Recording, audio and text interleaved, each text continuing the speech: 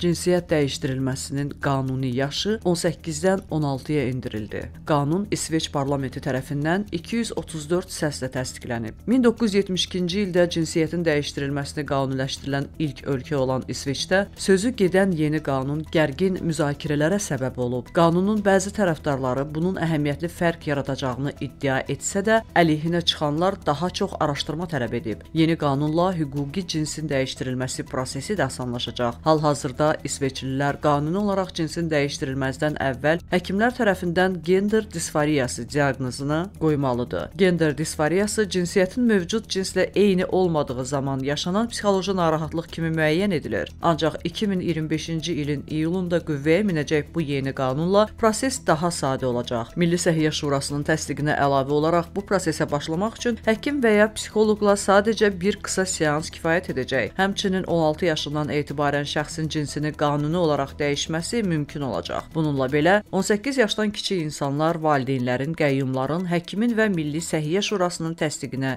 ehtiyac duyacaq.